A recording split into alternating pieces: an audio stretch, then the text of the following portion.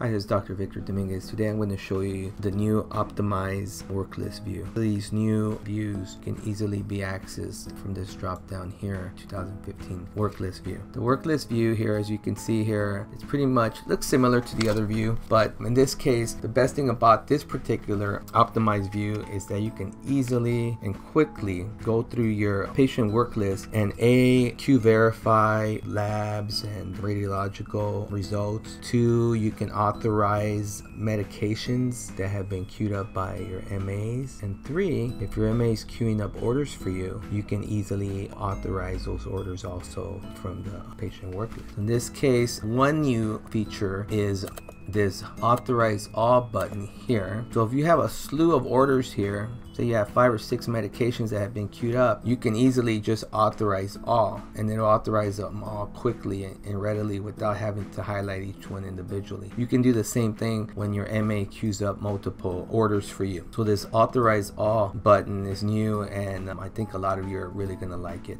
For other types of results, you can continue to use the queue verify all button to queue verify all of the labs that are in this patient's order set.